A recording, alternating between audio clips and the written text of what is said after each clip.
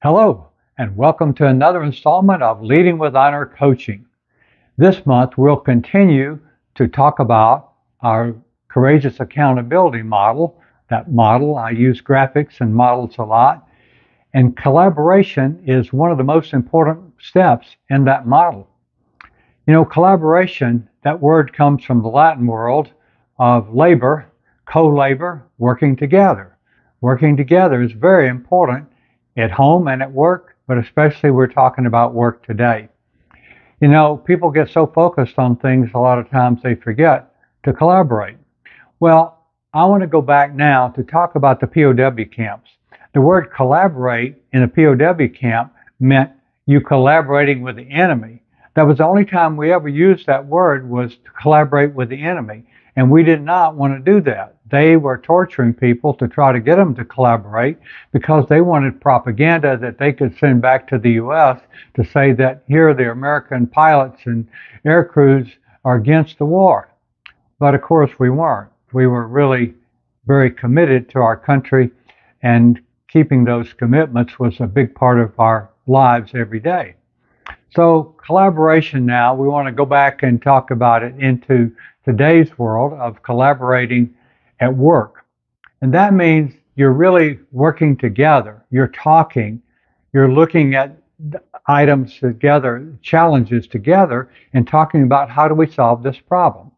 Now, the problem in the workplace today is really that we tend to get into our silo. We get in our division or our department, and we're working so hard to accomplish our mission in that department or division that we don't really pay much attention to that other division or that other silo over there. And that's a big problem in many companies today.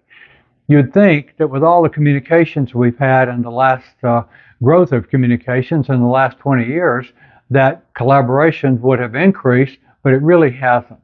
You know, people are working from home, people are changing in and out. That collaboration is always a problem.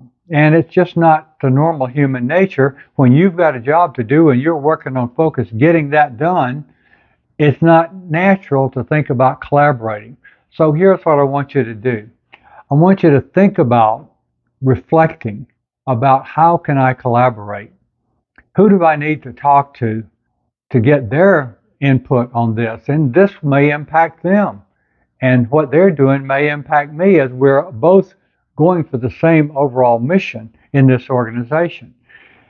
Well, when you are able to do that, it really, really changes the whole world and it's going to make you very much more successful. Now, I have done many workshops in, com- in companies over the last 25 years, and one of those is the team where I get a couple of teams in there and I ask them an exercise. Tell, think of a group uh, when a time when your team has collaborated with this team, and I want you to talk about together or separately rather how it worked when you collaborated. And then they do that and they share that. And then I have them share when they didn't collaborate with their group and this group over here, and then come back and tell everybody what happened when they didn't collaborate. And you'd be amazed at how their eyes kind of opened up. And it's like, yeah, we probably should have been collaborating more and more and more. And we're going to work at collaborating in the future.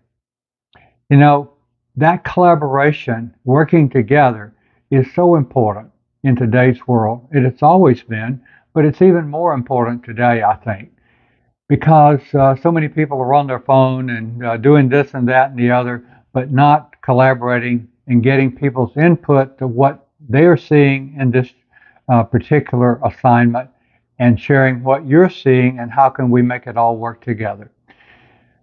Great organizations that have great success really have learned to collaborate. They're no longer working in divisions and departments of silos. I want you to encourage you to think about this. Now, this month's blog has five keys of the benefits of collaboration. So I hope you'll please check it out.